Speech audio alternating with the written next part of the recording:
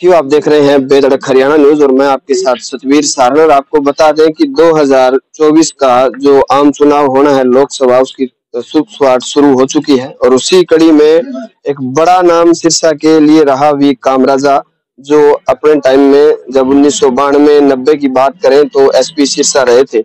आज भी जहन में लोगों के वो नाम आता है कि वी कामराजा का जब नाम आएगा तो लोग ऑटोमेटिक ये सोचते हैं कि वी कामराजा को एक बार ज़रूर देखेंगे। अब लोकसभा चुनाव होना है और गाँव गाँव में जनसंपर्क अभियान शुरू किया गया है और मैं तो आ, मेरा तो नब्बे में जन्म हुआ है सर तो हम तो पहली बार मुलाकात कर रहे हैं। लेकिन बुज़ुर्गों से आपके बारे में काफ़ी सुना है। अब ये जो अभियान चलाया गया है मतलब प्रॉपरली आप लोकसभा चुनाव लड़ने के लिए लोगों से मुलाकात करें नहीं लड़ने के लिए मैं प्रयास कर रहा हूँ। मेरा से कितना मेहनत कर सकता हूँ मैं कर रहा हूँ। लोगों से संपर्क कर रहा हूँ। लोग तो प्यार करते हैं रेस्पेक्ट करते हैं। ये पुराना हमारा संबंध है। पुराना संबंधित को वैसे रिन्यूअल करने के लिए मैं हर एक विलेज में जाके लोगों से वैसे ही संपर्क कर रहा हूँ।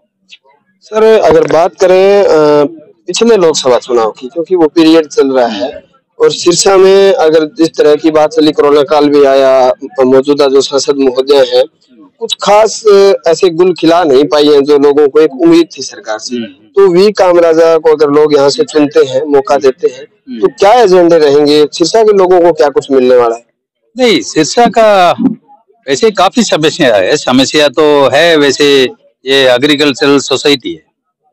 किसान का वैसे जो उनका मिलना चाहिए उनका वैसे एग्रीकल्चरल प्रोड्यूस है उसका स्टोर करने के लिए जगह नहीं है। नहीं तो एक फ़ूड प्रोसेसिंग यूनिट का तो ज़रूरत है। इस तरह से एग्रीकल्चर का वैसे ज़रूरत है। युवा पीढ़ियों का वैसे सही दिशा दिखाना ज़रूरत है। लोग बुज़ुर्गों लोगों के लिए उनका प्रोटेक्ट करना वैसे बहुत ज़रूरत है। इस तरह से काफ़ी ज़रूरत है। वैसे डेवलपमेंट वैसे फ़िज़िकल डेवलपमेंट नहीं है मेंटल डेवलपमेंट भी ज़रूरी है। अगर सोच भी अच्छा होना चाहिए, उसका भी हमने वैसे बोलना पड़ेगा। हमने वैसे अच्छा एक नागरिक बनाने के लिए हम कोशिश करेंगे। साथ साथ वैसे सड़क बना दिया रोड बना दिया और कुछ बिल्डिंग बना दिया उसे वो डेवलपमेंट नहीं है। जब तक मेंटल डेवलपमेंट नहीं होगा अच्छा सोच नहीं होगा डेवलपमेंट नहीं हम मानते हैं। सर एक बात और करें कि आ, सरकार का दस साल का पीरियड रहा है भारतीय जनता पार्टी का। हम्म। और इस दस साल में एक ही चर्चा रही है। प्राइम मिनिस्टर जब यहाँ शिक्षा की धरती पर आए तो उन्होंने कहा था कि नशा बहुत है। हम्म। और आज भी किसी गाँव में कहीं भी चौपाल में बैठोगे तो चर्चाएँ नशे की होती है। हम्म। अगर नशे की कहीं बात आ रही है तो आप तो पुलिस डिपार्टमेंट में रहे हैं आपने पूरा हरियाणा देखा है। पुलिस डिपार्टमेंट इस मामले में पूरी बुलाई में है कि नशा है वो पुलिस की देन है सरकार के छत्र छाया में हो रहा है। अगर वी कामराज आते हैं तो इस क्षेत्र के युवाओं को क्योंकि सिरसा आज हरियाणा में एक नंबर पे है नशे में। आपकी क्या सोच रहेगी उसके प्रति? नहीं, नशा तो वैसे हम कोशिश करेंगे तो सही दिल से कोशिश करें, बहुत मेहनत करें, लोगों से जुड़ के काम करेंगे तो ये वैसे आराम से कर सकते हैं, वैसे ना करने के मतलब ही नहीं है। करने के लिए ठीक है सिंसियरली काम करेंगे तो वैसे कर सकते हैं। करेंगे, ज़रूर करेंगे, कर सकते हैं। सबको वैसे लोगों को वैसे मुखबरी देते हैं, कहाँ कहाँ आ रहा है, कहाँ से आ रहा है, कहाँ जा रहा है। सब कुछ कर सकते हैं, वैसे इधर लोगों इसमें काफ़ी नुकसान हो रहा है। पर्टिकुलरली युवा पीढ़ियों को काफ़ी नुकसान हो रहा है। मैं ट्वेंटी टू में मैं डेटा देखा, सिरसा में सात लोग सात युवा ने मर गया। अगर 18 2018 से 2023 तक देख लूँगा तो सवा लोग सवा लोग, सवा लाख लोग है। युवा है, वैसे ट्रीटमेंट ले रहे हैं। ये गंभीर मामला है। करेंगे ज़रूर क्यों नहीं करेंगे? वैसे लोग तो साथ देंगे। हाँ अगर अच्छा जब वैसे सही काम करने वाला का तो लोग सा, साथ देते हैं ना।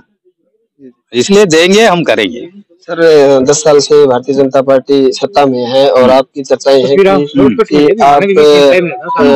आप जो है बीजेपी से उम्मीदवार होने वाले हैं आपने टिकट को लेकर क्या आश्वस्त है?